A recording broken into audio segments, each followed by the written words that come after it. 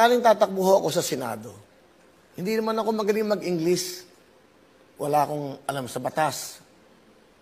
Baka ho, lait-laitin lang ako doon ng ating mga mahal na senador na magagaling. Hindi man lait-laitin, siguro baka wala naman ako maiaambag na batas. Di ba? Baka dumating yung time na sayang din ang iboto nyo sa akin na wala akong nagagawa. Wala rin akong maiaambag na knowledge about the law dahil hindi ho ako abogado. Sa napapanood ko ngayon, parang nalulungkot ako. Dahil ah,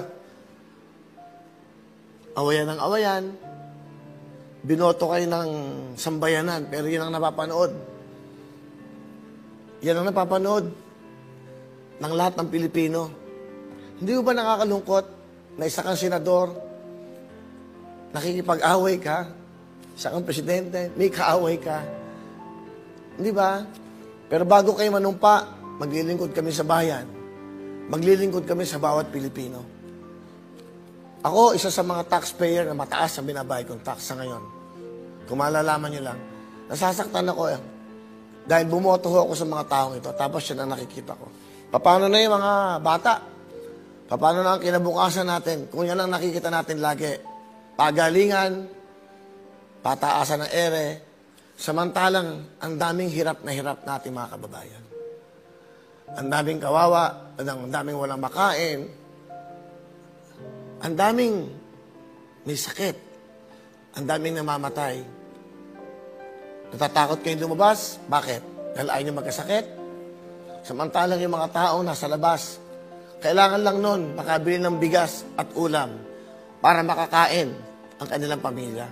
Tapos na makikita pa namin sa telebisyon, sa news, puro away nyo. Nakakalungkot po. Isa ho yan sa mga dahilan pa. Papasukin ko ba to? Pupunta ba ako sa ganitong klaseng, di ba, institusyon? Sa estudyong ito, wala akong inaapi. Walang hinahanapan ng corruption. Ilang milyong Pilipino ang subscribers ng programang ito? 25 million. Hindi pa po kasama yung mga nanonood sa araw-araw. Alam nyo, napakahirap po pasukin ng politika. Yung kaibigan mo ngayon, bukas kaaway mo. Mag-ama, nag-aaway dahil sa posisyon. Mag-asawa, naglalaban dahil sa posisyon. Sayang ang buhay.